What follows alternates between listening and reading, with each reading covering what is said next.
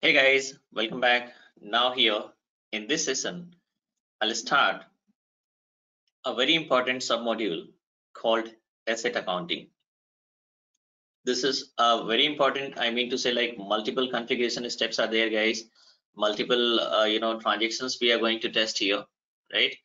And uh, these all things are going to be discussed. Whatever the configurations are there is, is going to be discussed in details one by one okay i'll explain uh, you know how to configure and even the logic behind these all configurations and all because that is what the, that is what the most important things or is or is like several uh, tutorials are there several videos are there several configuration documents are also available on google and all where you can get the configuration steps. But here the main important thing is we need to understand why and then how okay so now let's start from the introduction part first. And the first thing is like uh, the first question is what is assets? Okay so here the simplest definition is any item or property which is owned by an organization to produce certain economic value is called asset. It is going to be divided into two part guys. That is called tangible and intangible assets. If we talk about tangible assets, then the asset which is having physical appearance is called tangible assets. Like say for example, uh, building, plant, machinery, uh, uh, you know like computer, furniture fixtures, vehicles. These all are called tangible assets.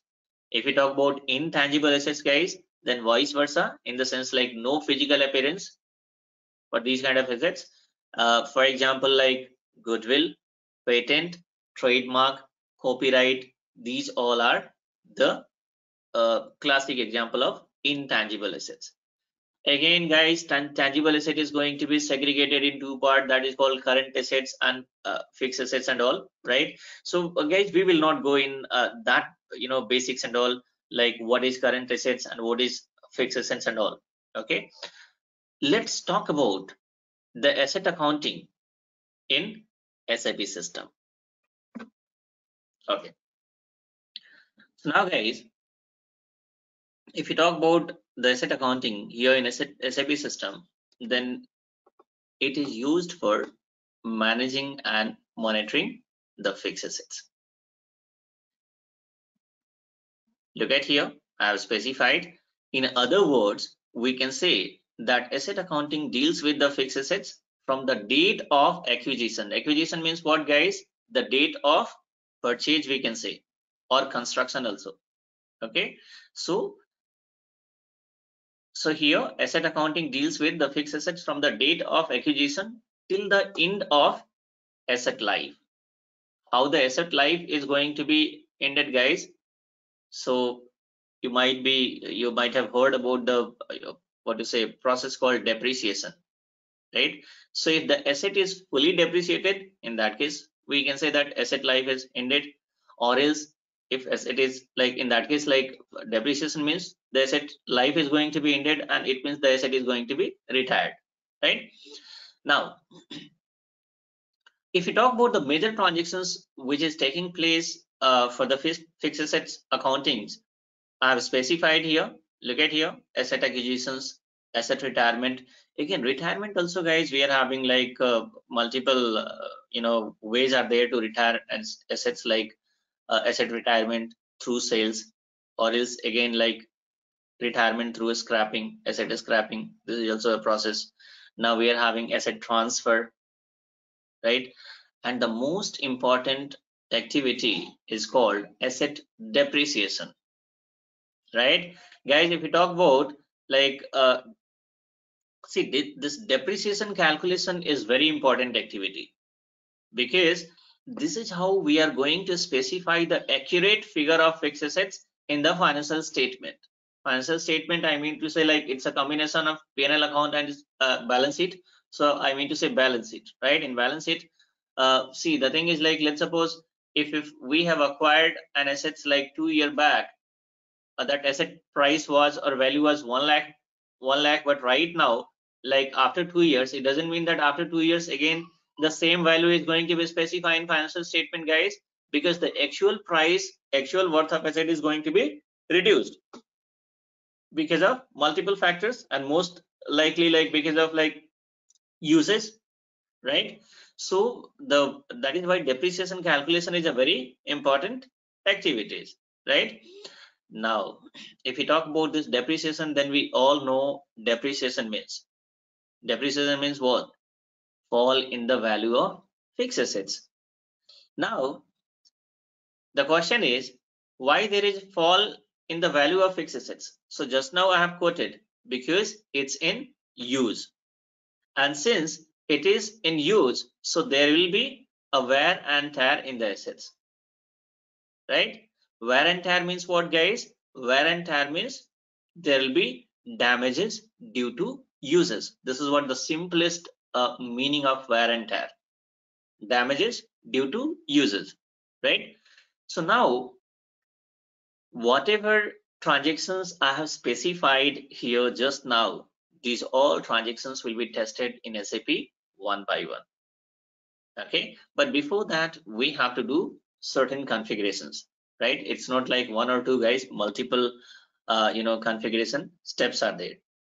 Okay, so we are having in asset accounting, we are having multiple configuration steps are there. So let's have a look on the configuration steps one by one, guys. Next lesson, I'll explain these all things like what is this chart of depreciations the uh, you know most important thing is like asset class also because uh, if you go for interview uh, then multiple questions are going to be derived from asset accounting guys right so whatever configurations we are going to do first of all you should have some idea about these configurations like why to do these configurations.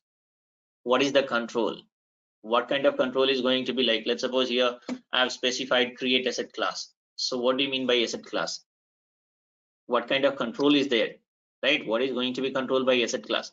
So these all things are going to be explained in details even apart from this also multiple other uh, what to say configuration steps are also there guys right in asset accounting most likely here uh, whatever transactions are going to be posted because before asset accounting uh, we have seen like account receivable account payable and all and there whatever transactions were going were posted in account payable or in account receivable then there manually we used to uh, enter the GL accounts. We used to give the GL account. Let's suppose rent related GLs, uh, what do you say, your uh, audit fee related GL or any other expense related GLs are going to be let, used, uh, what say, in account payable. Likewise, in account receivable, whatever sales and revenue related GLs were there, that is, we are going to put manually. But here in asset accounting, what is happening, guys? In asset, asset accounting, uh, multiple, like if you talk about that testing and all once we perform the testing testing means what guys testing means i mean to say the transaction which i have specified here asset acquisitions asset retirement scrapping transfer depreciations whatever these activities are there right so once we perform this these all transactions and all then in most of the transaction what is happening guys automatically system is going to determine the gl account manually we are not going to give the gl account automatically system is going to determine the GL account. So how this GL account automatic determination of GL account happen guys? So if you are able to remember the tax related configurations, tax related configurations means I'm talking about when you talk about direct tax, so-called withholding tax, or else like if you talk about uh, you know tax on sales purchase, indirect tax. So there also what is happening guys? System is going to determine the GL account, uh, what to say, uh, automatically. How? So how automatic determination of GL account happen guys? The automatic determination of GL account happen only if you assign this GL account somewhere. So likewise, as I said here in asset accounting also, in most of the transactions system, system is going to determine the GL account automatically. So how system is going to determine the GL account? This logic, these all things we need to understand, right? These things we have to understand. Look at here, we are having like specify account determination. So this is a kind of, this is a key which is going to be created. And against this key, what is happening guys? We are going to assign the GL account. But still, how system is going to determine this key? So in that also logic is there. That's what I'm saying guys. Each and everything we are going to have a look in details one by one. We'll see the configuration starting from copy reference chart of depreciation. And apart from this, as I said, like multiple configurations are there. These all things we are going to see one by one in details. So the session is going to be quite informative and quite interesting. So next session onwards, all the configuration part will be there.